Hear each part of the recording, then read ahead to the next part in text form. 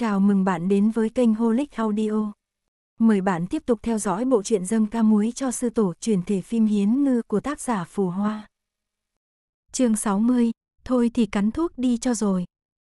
Sư nhạn nằm trên tấm phản trước cửa sổ, nhìn ra những tòa nhà trắng tuyết bên ngoài. Trắng xóa cả đất trời, nếu có thể chấm vào chút sắc xanh lá, là có thành phong cách địa trung hải rồi, có khi còn mọc ra một cái chấn nhỏ xanh trắng nổi danh ấy chứ thân là du dân thất nghiệp, bây giờ có thể có cảm giác nghỉ mát sâu sắc hơn rồi. Cô nhàn hạ nghĩ vài chuyện vần vơ, hưởng thụ cuộc sống nghỉ mát dưới ánh nắng không cần động tay động chân. Một chấm đen đột nhiên xuất hiện phía trời đằng xa, dần dần bay tới gần, cuối cùng ngừng trên một cành mộc lan điêu khắc trên cửa sổ. Là một con chim màu đen nhỏ xíu, chỉ bằng cỡ lòng bàn tay, hai mắt nhỏ như hột đậu nhìn sư nhạn chăm chăm, cứ như đang xem xét cô, Sư nhạn với con chim nhìn nhau một lúc, cô hoài nghi mình nhìn thấy mùi thông thái từ hai con mắt chim kia. Cô lấy cái đĩa hạt dưa từ bàn bên cạnh sang, thật ra cái món này ở ma vực không gọi là hạt dưa nhưng sư nhạn cảm thấy dáng vẻ và mùi vị trông rất giống. Sau đó nghe thấy vị ma chủ phu nhân, này gọi là hạt dưa thì cái thứ ấy cũng bị đổi tên thành hạt dưa.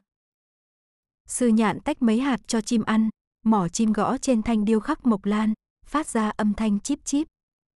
Nó ăn xong mấy hạt dưa, sư nhạn thử sờ đầu nó, nó cũng để yên cho sờ. Sư nhạn tách một nắm hạt dưa, cho chim ăn một lúc. Hình như có gì đó nhầm lẫn, cô cảm thấy cho chim ăn một nắm hạt dưa nhỏ, cái thân mình bé nhỏ đã tròn lên không ít. Một bàn tay trắng bệch chìa ra sau lưng cô, gạt phát con chim đen tròn quay đi. Sư nhạn quay đầu lại nhìn, nhìn thấy tư mã tiêu đang bóp miệng con chim kia. Sau đó con chim biến thành một luồng khói đen trong tay hắn, lại biến thành một tờ giấy đen. Trên mặt giấy có một đống hạt dưa, không khác gì với lúc con chim kia ăn. Sư nhạn nhìn thấp thoáng thấy được trên mặt giấy bị hạt dưa che khuất có viết hai hàng chữ. Sư nhạn, thì ra là một con bồ câu đưa thư.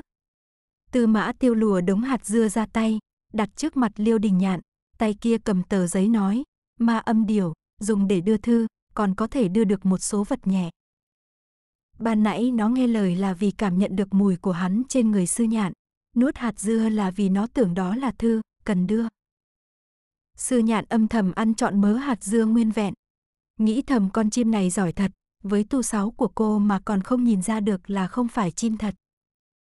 Từ mã tiêu xem thư xong liền gấp phong thư lại làm đôi, không biết làm thế nào lại biến nó thành chim đen, đặt trong tay sư nhạn. Thích không? Cầm lấy chơi đi. Sư nhạn sờ vào lớp lông vũ mềm mại bóng mượt của con chim trong lòng bàn tay, nắn nắn cái bụng tròn vo, cảm thấy cực kỳ thích tay, tiếc là không phải chim thật. Chiều nay đưa nàng đi gặp một người. Từ mã tiêu ở bên cạnh nhìn cô chơi chim một hồi rồi mới nói. Ừ, sư nhạn cực kỳ ngoan ngoãn, thái độ y hệt như lúc ở với sư thiên lũ.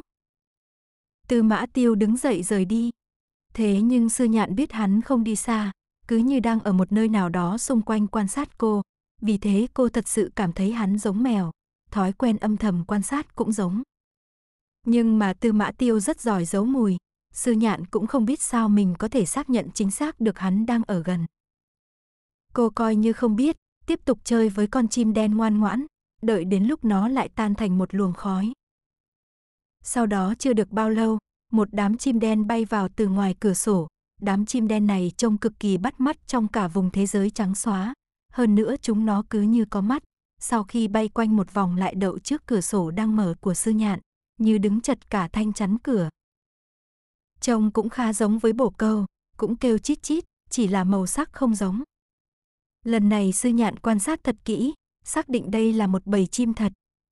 Nói thật thì cô nằm đây đã mấy ngày, chưa từng nhìn thấy một con chim nào dám tới gần cấm cung của Tư Mã Tiêu. Hiện giờ đàn chim này đột nhiên bay tới, chắc cũng không phải là tự mình bay tới. Chắc là ông lớn thấy cô thích cho chim ăn nên lùa một bầy đến cho cô chơi. Về mặt này thì ông lớn ma vực này thật sự chu đáo hơn thân phận với danh tiếng của mình nhiều. Đường đường ma chủ mà lại chu đáo vậy sao? Sư nhạn nghĩ không sai, ngay dưới cấm cung, một ma tướng có thể sai khiến ma vật và hung thú đang vô cảm triệu hồi các loài chim vô hại đáng yêu ở gần tới. Trước đây nàng toàn triệu hồi các loại thú ăn thịt người hung tợn, loại nào càng hiểm ác nàng càng thích triệu hồi. Bây giờ lần đầu tiên trong đời triệu hồi ba cái thứ vặt vãnh này, đúng là sai từ đầu tới đuôi. Nhưng mà biết sao được, lệnh của ma chủ, The CMN chỉ biết làm thôi chứ sao. Sư nhạn cho chim ăn cả buổi sáng, đến chiều, cô thấy một đám người đưa thứ gì đó vào cấm cung, sau đó Tư Mã Tiêu lại đến đưa cô đi gặp ai đó. Đây là người quen, cô cô sư thiên độ trước đó cô có gặp một lần. Người cô cô này đã bị khống chế, không thể nhúc nhích được, người đầy vết thương, hận thù nhìn họ chằm chằm. Cầm tù thật sự, nhốt trong không gian nhỏ không có tự do riêng, không đồ ăn thức uống, bị đánh thê thảm giống như sư thiên độ. Cầm tù giả dối, muốn đi đâu đi đó, ăn được gì thì ăn, còn có người trăm phương ngàn kế chọc cho mình vui như sư nhạn. Sư thiên độ không thể nói được nhưng những gì ả à muốn nói đều nằm trong mắt. Sư nhạn nhìn thấy hai chữ phản đồ, viết lớn. Sư nhạn nhìn người cô cây khế này, do dự nhìn sang tư mã tiêu bên cạnh.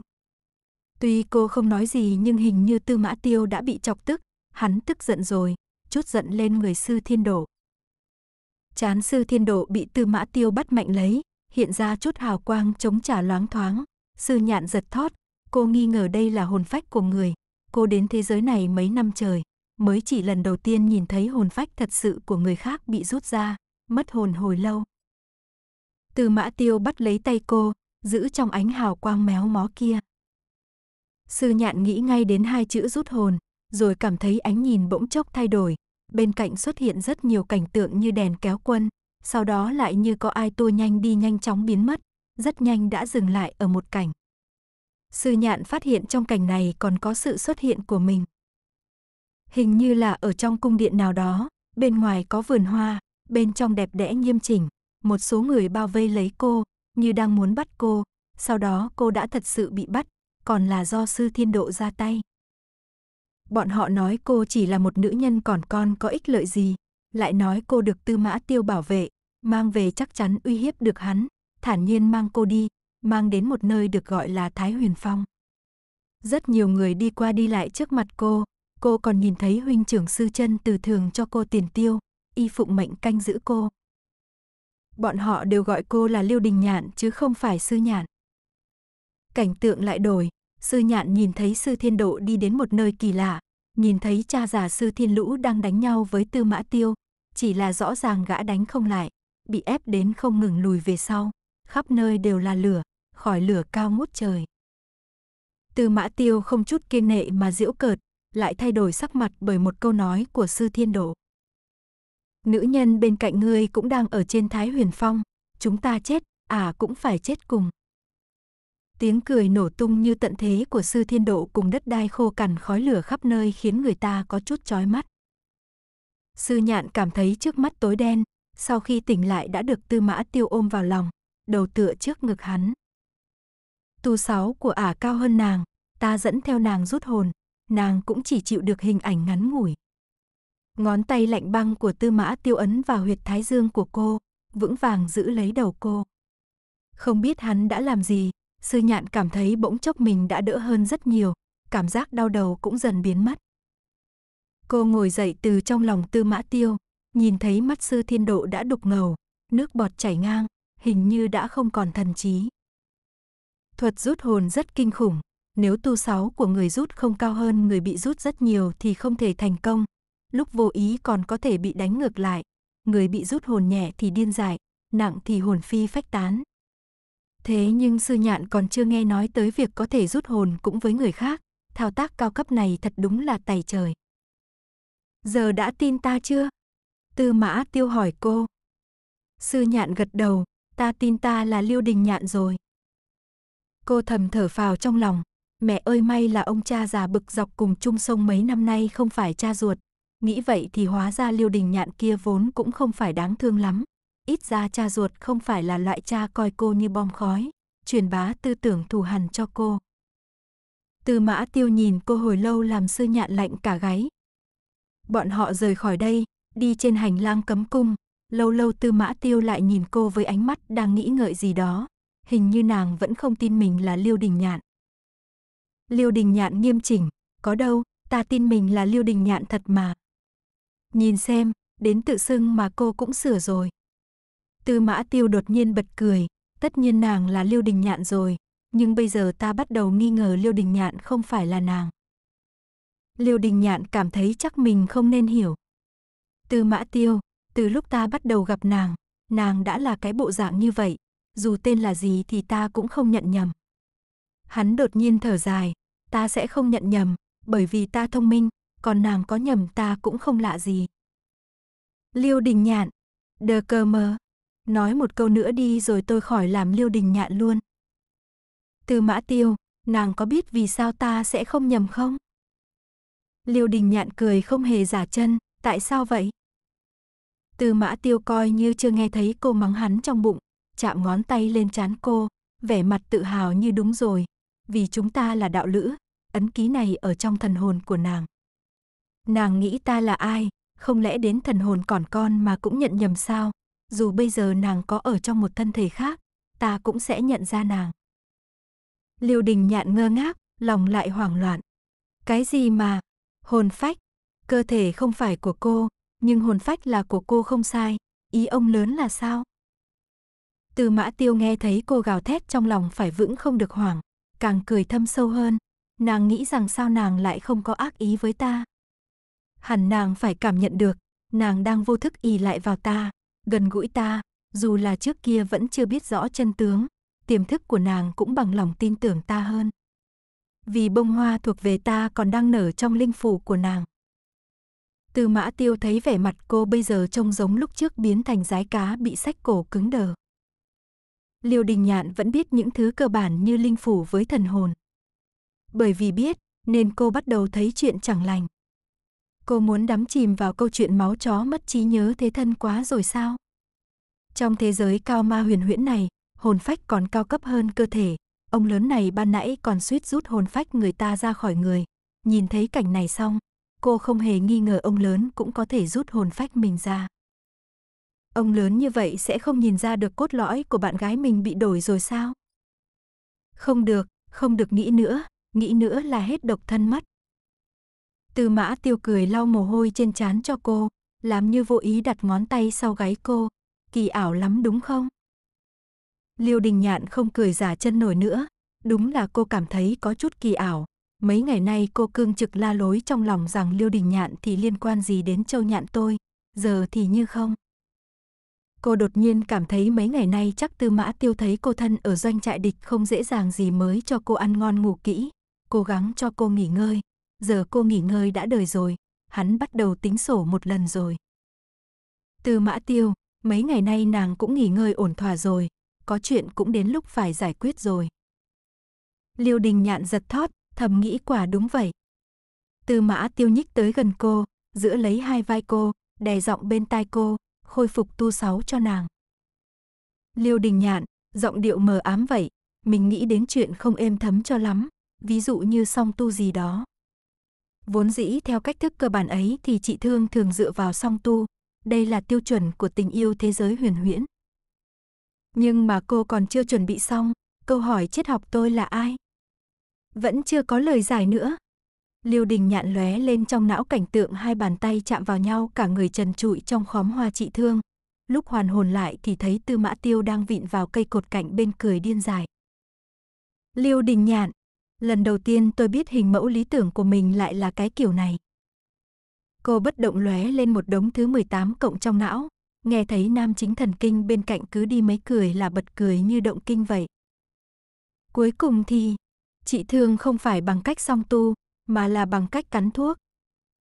Tư mã tiêu ngồi đối diện cô, sắp ba tầng thuốc từ cao tới thấp rồi nói, uống đi. Trong mỗi bình có một viên thuốc, đổ ra còn tưởng đâu là chân châu hong khói, phải nuốt một viên hoàn to như thế, cảm thấy có thể nghẹn chết. Liêu đình nhạn nhìn đống bình thuốc nghĩ thầm phải cắn bao đó thuốc thì thôi xong tu cho rồi. Tư mã tiêu đẩy đổ một bình thuốc, lăn đến trước mặt liêu đình nhạn, ngọt đấy. Cái người này tuy là không kén ăn, cái gì cũng thích ăn nhưng cô tuyệt đối không ăn được đắng. Là một đứa lười nhác vừa sợ đắng vừa sợ đau vừa sợ mệt. Liêu đình nhạn, hờ, lừa con nít chắc, đan dược đều đắng chết được, mấy năm nay tôi cũng có từng cắn thuốc đấy. Tư mã tiêu lại đẩy ngã một bình nữa, chỉnh lại tay áo mình, đan dược cao cấp nhất đều ngọt cả. Thật không? Liêu đình nhạn bán tín bán nghi nuốt thử một viên. Không ngờ là ngọt thật. Cô không hề biết mấy vị luyện dược sư cao cấp của ma vực để đáp ứng nhu cầu vô lý của ma chủ mà phải tạo vị ngọt cho mấy viên đan dược này trong vòng mấy ngày ngắn ngủi, suýt chọc cả đầu. chương 61, nàng như vậy, ta cũng thế. Trong mấy năm làm sư nhạn, vì cơ thể này bị thương nên cô phải uống rất nhiều đan dược đắng không tả. Ngay từ lúc ban đầu, ông cha giả sư thiên lũ đã nói với cô, tu sáu của cô rất khó khôi phục lại như ban đầu, e là cả đời cũng không lên được luyện hư nữa. Vì thế gã chỉ cho cô một số đan dược trị thương để tu sáu cũng cô giữ vững ở bậc hóa thần chứ không đến nỗi bị giáng tiếp.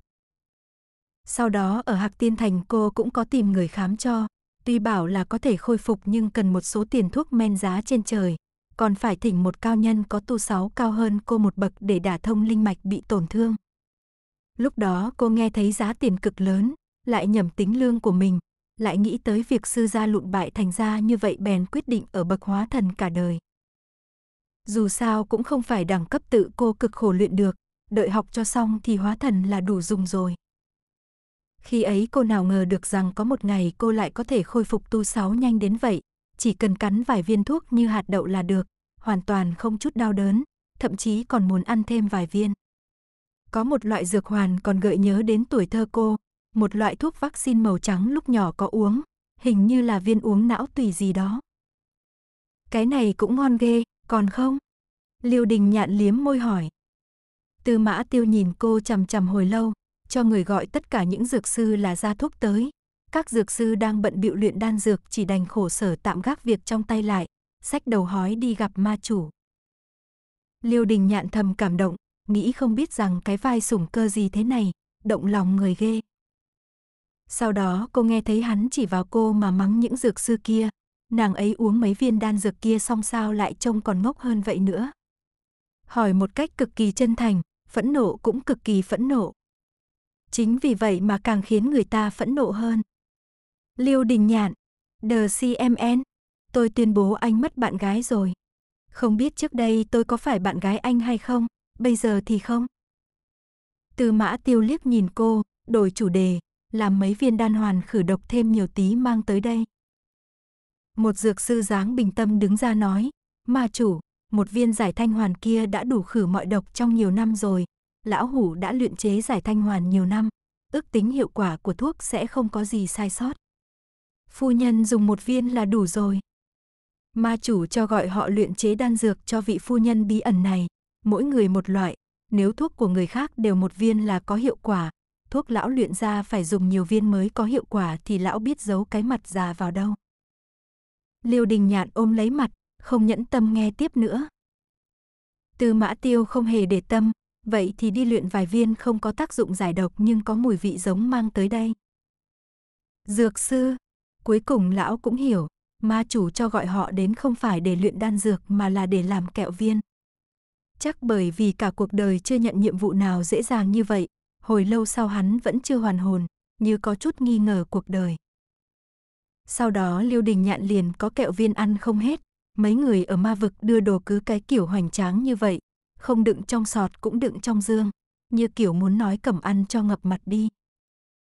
Tư mã tiêu cũng thử một viên, u ám nhìn cô hồi lâu, ta sớm muộn gì cũng bắt sư thiên lũ về xé xác ra. Liêu đình nhạn, hà, tự nhiên nhắc sư thiên lũ làm gì? Tư mã tiêu, mấy năm nay nàng chưa được ăn gì đàng hoàng đúng không? Liêu đình nhạn vô cảm mút kẹo, không muốn nói chuyện với tên đàn ông này nữa. Trả ký ức tuổi thơ đây. Trả nỗi nhớ quê đây. Tư mã tiêu ngồi cạnh cô, nhấc một chân lên, cánh tay gác lên trên đỡ lấy đầu, một tư thế rất tùy tiện. Nàng có biết vì sao ta không gấp gáp giải thích thân phận với nàng không? Hắn nói rồi dùng tay bên kia sờ lên bụng cô rồi nắn nắn. Liêu đình nhạn khựng lại, mắt nhìn theo tay hắn. Bạn ơi, bạn tự nhiên ghê. Sờ đâu đấy? Tôi vẫn chưa xác nhận thân phận người yêu của chúng ta đâu. Cô đưa tay chặn trên bụng, không để thiên hạ nghịch thịt trên bụng mình. Tư mã tiêu cũng không để ý, tiện tay sờ tay cô, nắn nắn ngón tay. Hắn chở người nhích lại gần cô, bởi vì nàng sẽ nhanh chóng tự nhận ra thôi. Liêu đình nhạn lộp rộp cắn nát viên kẹo trong miệng. Tư mã tiêu cách cô rất gần, nghe thấy tiếng nhai kẹo lốp rốp, khóe miệng lại nhếch lên. Liêu đình nhạn cứ cảm thấy hắn cứ nhây tới nhây lui chọc cho mình giận. Nói nghe nè, sở thích gì kỳ vậy? Thích nghe chửi không? Cô ôm ánh mắt hoài nghi của mình đi ngủ. Trước khi ngủ tư mã tiêu nói với cô, lúc cô thức dậy thì tu sáu sẽ khôi phục hoàn toàn. Đêm ấy Liêu Đình Nhạn ngủ ngon lành, Tư Mã Tiêu ngồi cạnh cô, bắt lấy cô nắn tay bóp chân nhồi bụng nhào. Ờ thì tất nhiên là để đả thông linh mạch bị thương kết hợp với tác dụng của thuốc, tóm lại xoa qua nắn lại cô một hồi, Liêu Đình Nhạn vẫn chưa dậy. Sao mà vẫn ngủ ghê tới vậy? Tư Mã Tiêu nhỏ giọng tự lầm bầm, yên lặng nhìn cô, nụ cười trên mặt từ từ biến mất. Hắn rất hiếm khi bình yên thế này, nhất là trong những ngày mất đi Liêu Đình Nhạn khiến hắn cảm thấy trong hoàng hốt còn dài hơn cả 500 năm ở Tam thanh Sơn. Ngón tay trắng bệch không tí huyết sắc quấn lấy một lọn tóc bên má Liêu Đình Nhạn, chậm chậm quấn một vòng, lọn tóc đó lại rơi xuống từ tay hắn. Sáng sớm và buổi đêm của Đông Thành đều là lúc lạnh nhất, đôi lúc sẽ có chút sương giá động trên những tòa nhà màu trắng, đợi lúc mặt trời lên, những giọt sương kia sẽ nhanh chóng tan biến mất, đến cả vệt hơi nước cũng sẽ tan trong không khí. Đông Thành khô lạnh khiến Liêu Đình Nhạn đã sống nhiều năm ở Hạc Tiên Thành không thích nghi được, vì vậy cung điện cô đang ở không giống với bên ngoài, có trận pháp bảo vệ, ấm áp như xuân, đôi lúc Liêu Đình Nhạn còn chủ động tăng thêm độ ẩm. Sáng sớm hôm ấy, mây đen kéo tới trên cấm cung, sau đó thì tuyết rơi. Việc này là vì linh lực hội tụ đã khuấy động mây trên trời, vì thế mới có được trận tuyết hiếm có này. Liêu Đình Nhạn vừa thức dậy đã thấy tuyết bay đầy trời ngoài cửa sổ. Cô ngồi dậy chạy đến bên cửa sổ đưa đầu nhìn ra ngoài. Sau đó cô mới nhận ra những linh lực hội tụ trên cấm cung là vì mình. Cô thu lại những linh lực vô ý tản ra, ngồi bên cửa sổ nhắm mắt quan sát, cảm giác hoàn toàn không giống với bậc hóa thần. Chất lượng có thay đổi lớn khiến cô cảm thấy hiện giờ mình có thể đánh 20 đứa như mình lúc trước. Lúc cô đang làm quen với tu sáu luyện hư thì nhận ra một không gian mở trong cơ thể mình. Trước kia cô đã thoáng có cảm giác, chỉ là tu sáu hạ xuống hóa thần. Cô không mở được những không gian phong kín của luyện hư cũng không rõ lắm rốt cuộc là chuyện gì. Giờ cô có thể cảm nhận được rõ rệt, cũng đã có thể mở ra. Cứ như phát hiện một căn hầm bí mật dưới lòng đất nhà mình vậy, Liêu Đình Nhạn hào hứng bắt đầu lật tìm bên trong. Mọi thứ ăn xài đều có, bao gồm cả mấy món cần thiết để ăn mặc ở, để chia theo từng ngăn, quả đúng là một cái kho lớn. Mấy món này đều là trước kia mình bỏ vào sao? Sao giống sóc chuột chữ hạt rẻ vậy? Cô tìm được một số đồ vật hình như là trước kia thường dùng, một cái kính, không biết dùng thế nào, cô đặt đại bên cạnh, lại tìm được mấy con người gỗ, sau lưng có viết một, hai, ba bằng số Ả Rập, trên mặt có vẽ biểu tượng cảm xúc. Ấy, cái này là mấy biểu tượng lúc trước mình hay dùng mà. Liêu Đình Nhạn càng hoảng loạn hơn, không phải chứ, cái người lúc trước dám yêu ông lớn thật sự là mình sao? Mình mà cũng có lúc bành vậy sao? Đúng là không thể nào tin được. Cô để mấy người gỗ qua một bên, tiếp tục lật, lật ra một quyển thuật pháp toàn năng dày cui như đại từ điển, còn có một cuốn sổ ghi chép tự làm, còn có cả khóa, cái khóa này là một trận pháp nhỏ, cần phải nhập mật mã, Liêu Đình Nhạn thử dùng sinh nhật của mình để mở. Liêu Đình Nhạn, a a a. Trong sổ ghi chép không phải là nhật ký như cô nghĩ mà là một cuốn tập học ghi chép cách tu luyện thuật pháp. Nét chữ đương nhiên cũng rất quen thuộc, là chữ của chính cô, chữ giản thể, kiểu chữ viết rất ẩu, người bình thường đều đọc không ra, cô mà không nằm ra thì cũng không viết nổi, chắc cũng chỉ có mình cô đọc được. Lật được mấy trang, cô nhìn thấy hình vẽ con rùa, đùi gà với khoai tây chiên trà sữa mà mình vẽ lên, vẽ vài món đồ lung tung, cái này là chứng tỏ học hết vô rồi, vậy nên mới quyệt bậy. Phía sau còn viết tên mình như rèn chữ, Châu Nhạn cũng có, Lưu Đình Nhạn cũng có, còn có Tư Mã Tiêu, còn vẽ một trái tim cách điệu quanh chữ Tư Mã Tiêu đó. Lưu Đình Nhạn. A a a a a a a a a a a a a. Xong rồi, là mình, dũng sĩ trước kia hẹn hò với ông lớn tư mã tiêu lại là mình. Thật sự là mình. Liêu Đình Nhạn ôm lấy mặt mình, không dám nhìn thẳng mà chỉ hé một con mắt liếc mấy mẫu vẽ trên sổ ghi chép, cứ như có thể cảm nhận được tình cảm khi đó qua mấy dấu vết lung tung. Cô còn tìm thấy một con hạc giấy trong quyển sổ ghi chép, Liêu Đình Nhạn mở con hạc ra xem với một dự cảm khó tả, bên trong có viết mấy chữ, heo mọi đần thối tư mã tiêu. Qua, hồi đó mình ngầu lòi ghê. Quả thật vậy, có cái câu hát gì ấy, kẻ được yêu đều quá hững hờ. Nhưng mà dù là đang mắng mỏ nhưng sao nhìn cứ đầy vẻ gì đó thích thú ngượng ngùng. A hu hu sao mà mắc cỡ dữ vậy? Cô âm thầm gấp lại con hạc giấy đó, tiện tay ném qua một bên rồi lật tiếp. Cô tìm được một cái hộp trang sức, một cái hộp trang sức có năng lực không gian tồn trữ, tuy là thể tích không lớn nhưng kéo ra được mười mấy cái ngăn kéo, đặt đầy cả các loại trang sức đẹp đẽ. Chỉ có ngăn kéo nhỏ nhất đã bị khóa, vẫn là mật mã sinh nhật trước đó của mình.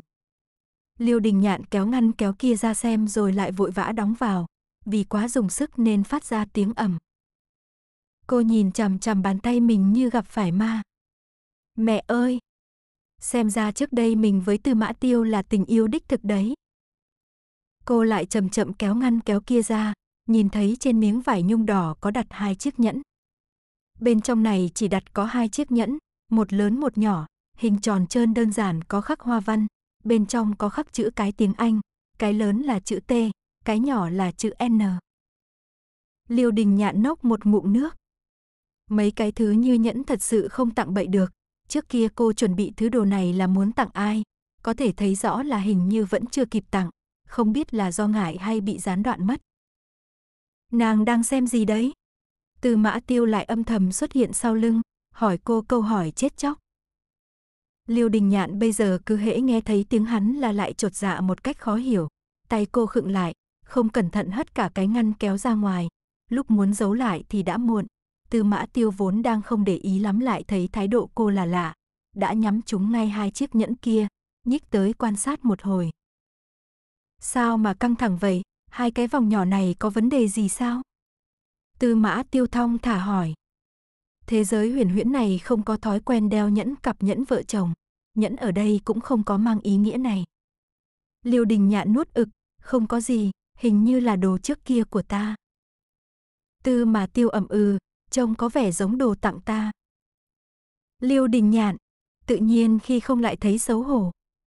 Cô nhìn tư mã tiêu cầm chiếc nhẫn lớn hơn đeo lên, ngón giữa vừa nhất hắn bèn đeo lên ngón giữa, sau đó lại tự nhiên như không mà cầm chiếc nhỏ hơn lên đeo vào ngón út. Liêu Đình Nhạn nhìn hắn tự đeo cả hai chiếc nhẫn, mặt mày vô cảm, không những không thấy mắc cỡ mà còn có cảm giác gì đó như trụy mẹ tim. Ok, cứ để hắn đeo một mình. Sao không làm thêm mấy cái cho hắn đeo chật 10 ngón tay luôn? Từ mã tiêu lại hô hố bật cười, chìa ngón tay đeo nhẫn cho cô xem, nhìn thấy chưa? Liêu Đình Nhạn, ừm, thấy rồi, nhìn thấy tên trai thẳng đần độn nhà ông đeo hai chiếc nhẫn, đeo luôn chiếc của tôi rồi, còn không vừa nữa. Tư mã tiêu bèn lắc đầu cười, tháo chiếc nhẫn nhỏ không vừa tay xuống, kéo tay Liêu Đình Nhạn tới, đeo lên cho cô. Hắn kéo tay cô nhìn một lúc, cúi đầu hôn nhẹ lên ngón tay đeo nhẫn của cô, đưa mắt nhìn cô, ta biết trước kia nàng thích ta, bây giờ cũng sẽ thích, nàng sẽ dựa dẫm vào ta, tin tưởng ta, muốn luôn được ở cạnh bên ta. Liêu Đình Nhạn, vậy ngài cũng tự tin ghê, tự tôi còn không biết. Từ mã tiêu nhẹ vuốt ngón tay cô, bởi vì nàng như vậy, ta cũng như vậy. chương 62, hít. Liêu Đình Nhạn nhận ra mình được tỏ tình lúc nào không hay. Nói cái gì mà nàng như vậy nên ta cũng như vậy, rõ ràng là phải nói ngược lại mới đúng. Chắc ý hắn là vì ta như vậy thế nên nàng cũng như vậy. Đúng là ông lớn đầy tự tin. Có cái là bạn trai nhà người ta nói mấy lời yêu thương lúc nào cũng phải tình cảm thắm thiết một chút, hắn thì không, hắn cứ nói đại vậy đấy, thái độ rất không chính chắn.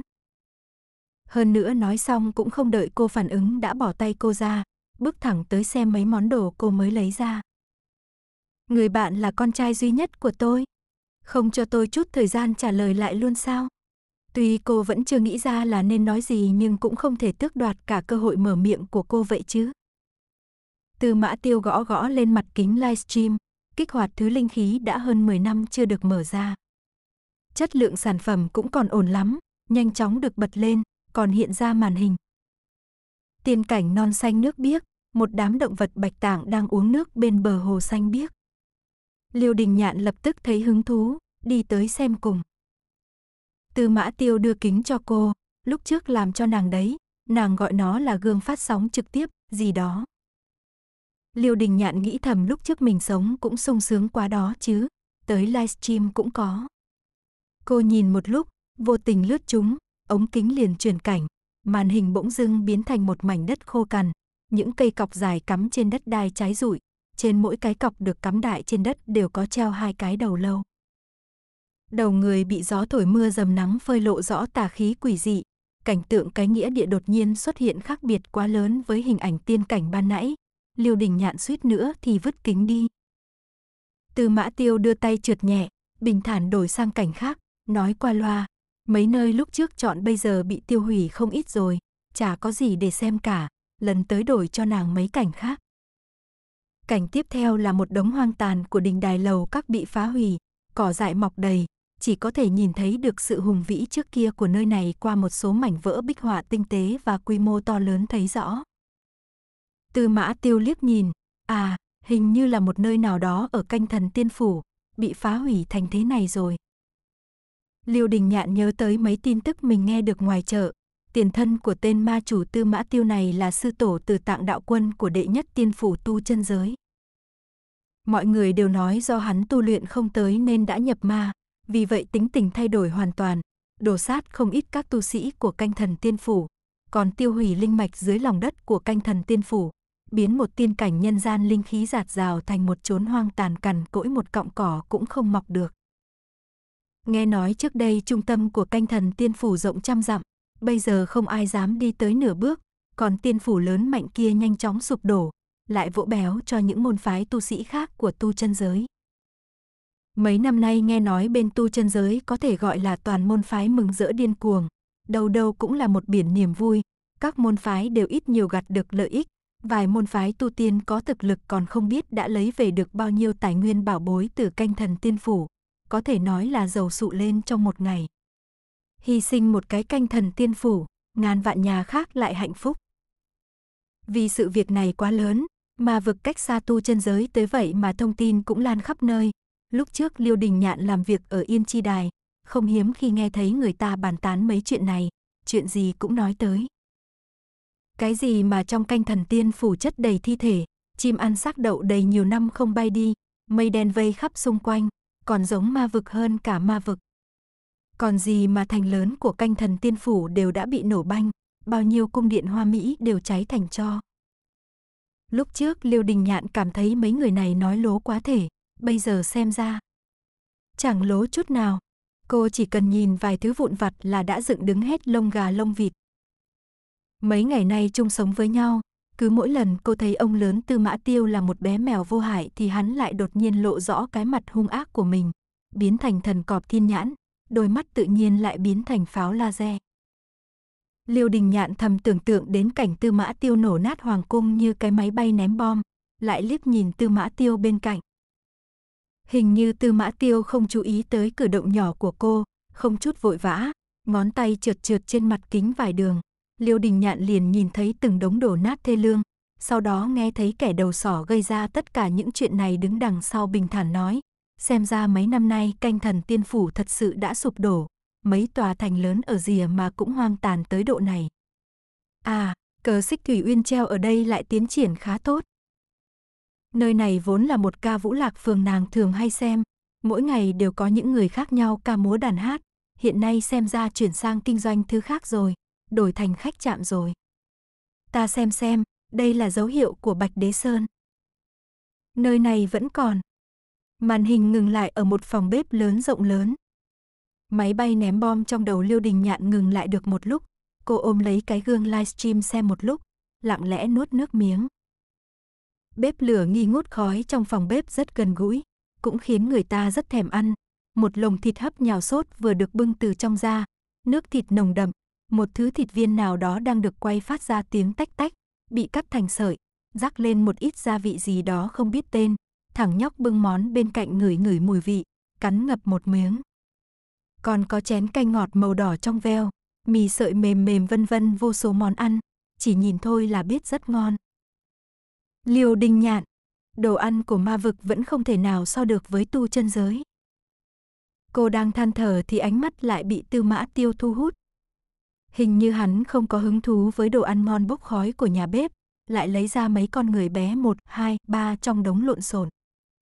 Hắn gõ tay lên chán người gỗ, ba con người bé đứng xuống đất biến lớn lên, tay chân tròn ụ với cái đầu tròn vo.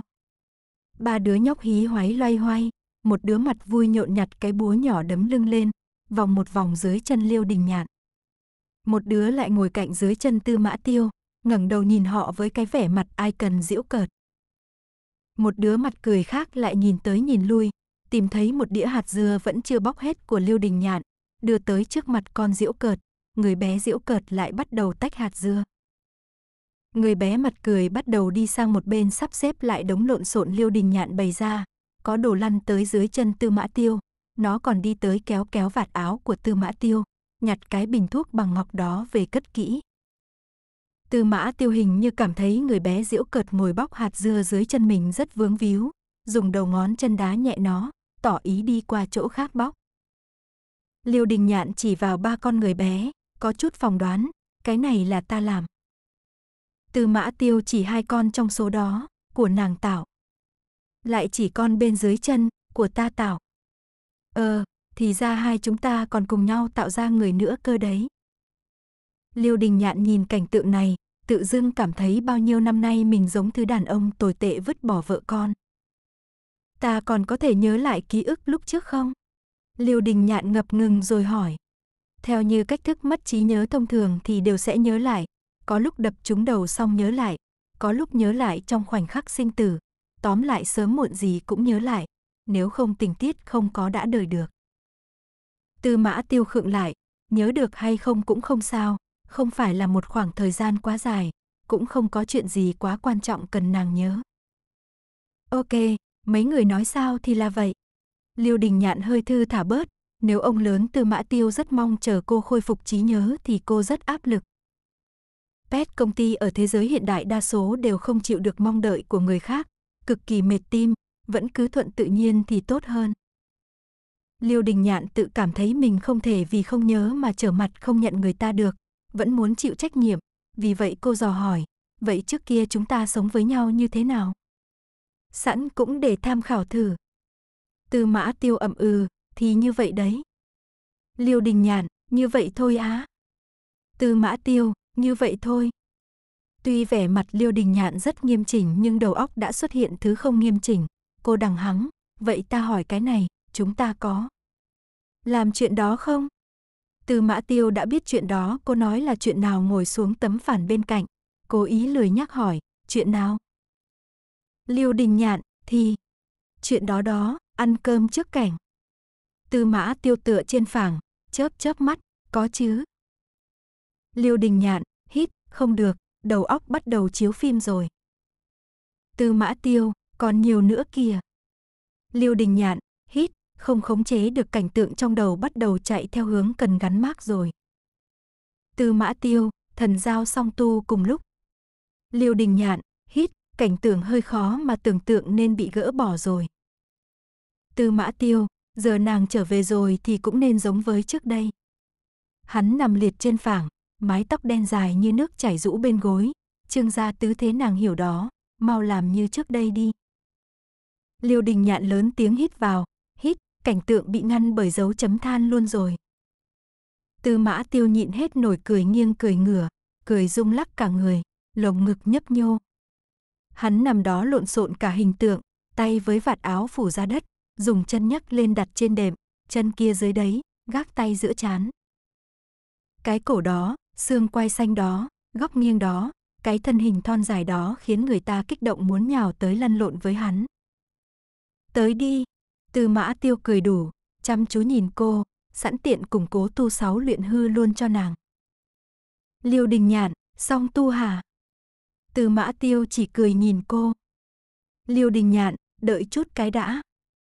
Cô lục lọi trong không gian của mình, muốn tìm thử xem có có gì kiểu như rượu tráng gan được không. Tìm cả buổi trời mới tìm được một cái vò trong góc, bóc đi cái niêm phong màu đỏ, thử múc một mõng ra uống. Vừa cay vừa khó uống, đúng là rượu không sai vào đâu được. Cô lại uống thêm mấy muỗng nữa, thấy Tư Mã Tiêu cứ nhìn mình kỳ quái mới hỏi thử, ngài cũng muốn hả? Tư Mã Tiêu liếc nhìn cái vỏ rượu của cô, không, ta không cần tráng. dường giọng điệu cực kỳ quái lạ, vừa nói xong lại bật cười lớn, hình như không nhịn nổi được nửa. Liêu Đình Nhạn nghĩ ra được gì, lật lật vò rượu, sau đó liền đông cứng nhìn chân chân vào cái thứ vừa lật ra. Không phải chứ, hồi đó cô chữ rượu tráng dương làm gì, cái quỷ này là của đàn ông mới uống mà. Ánh mắt cô không tự chủ được mà nhìn về phía bộ phận nào đó của tư mã tiêu. Trong đầu bão táp mưa rông, người tu tiên cũng mắc bệnh này nữa hả? Nguy rồi, có phải mình đã biết được bí mật ghê gớm nào đó không? Tư mã tiêu dần không cười nữa, hắn cô cảm nhìn cô. Liêu đình nhạn, ta nghĩ đây nhất định là hiểu lầm. Thật ra đúng là hiểu lầm thật, lúc trước cô chữ mỗi thứ một ít, vò rượu này là do một trưởng quầy nào đó tặng cho sau khi mua một đống rượu trái cây, cuối cùng uống hết mớ rượu trái cây chua chua ngọt ngọt, chỉ còn lại cái vò này, sau khi cô nhận ra đây là cái gì liền vứt vào trong hốc, dù sao cũng chả dùng tới. Nhưng mà bây giờ ai mà quan tâm có phải hiểu lầm hay không, đạo lữ với nhau thì tất nhiên có lúc hiểu lầm rồi. Từ mã tiêu ngồi dậy, chuẩn bị đứng lên. Người bình thường nhìn thấy cảnh tượng đáng sợ này thì chắc chắn là sẽ lùi về sau hoặc chạy vội. Liêu đình nhạn thì không, cô không còn nhàn hạ như ngày thường, vội vã đi tới, ấn tư mã tiêu ngồi lại chỗ cũ, bình tĩnh, đừng manh động. Trong lúc nguy cấp còn nhanh trí còn dán lên chán hắn một tấm thanh tâm phù. Lúc làm như vậy, Liêu Đình Nhạn thấy có chút thân thuộc, cứ như mình đã từng làm vậy rồi. Tư mã tiêu cười lạnh lột bỏ thanh tâm phù trên chán. Ngủ một giấc dậy, Liêu Đình Nhạn nhìn thấy ngoài cửa sổ một hàng trúc với lá phong màu đỏ. Ngoài cấm cung Đông Thành còn có trúc với lá phong. Hình như không có, đáng lẽ phải là một vùng trắng xóa mới đúng. Liêu Đình Nhạn giật mình, từ trên giường đứng dậy, Cô nghi là mình lao lực quá độ bị hoang tưởng mất rồi, nhìn rõ lại nhận ra là không phải, căn nhà nhã nhặn trước mắt không phải là cấm cung Đông Thành. Cô mặc một bộ áo lụa đơn giản, nhẹ như không, dính vào người như nước chảy. Cô dẫm lên nền nhà, đi đến ô cửa điêu khắc sát sàn đằng trước, nhìn trúc xanh lá phong đỏ, trời xanh mây trắng bên ngoài, còn có khói nước mông lung, núi non đằng xa, dưới chân có một hồ nước trong veo. Đây là đâu? Cô lấy kính ra soi gương. Vẫn là khuôn mặt đó, chỉ là trên cổ có thêm một cái dấu răng. Cô nghiêng người tựa bên cái thanh gỗ nhìn ra ngoài, đột nhiên chân bị tóm lấy, cả người ngã xuống hồ. Trong nước có một con thủy quái tóc đen áo đen mặt trắng, cuối cùng cũng tỉnh. Liêu đình nhạn lau nước trên mặt, bò về phía bờ, bò được phân nửa lại bị ôm lấy eo lôi lại xuống nước. Đợi lát nữa rồi lên. Thủy quái nói. Liêu đình nhạn dòm ngó hắn, mèo không có thích tắm rửa ngâm mình đâu. Tư mã tiêu, ý gì? Liêu đình nhạn nhanh chóng đổi chủ đề, đây là đâu? Tư mã tiêu, biệt trang có cái nhà bếp lớn trong gương phát trực tiếp. Liêu đình nhạn, tu chân giới. Tư mã tiêu, đúng vậy. Liêu đình nhạn, hít. Phần này đến đây là hết. Mời các bạn theo dõi tiếp các video khác trên kênh. Nếu các bạn yêu thích kênh, hãy nhấn theo dõi nhé. Cảm ơn các bạn.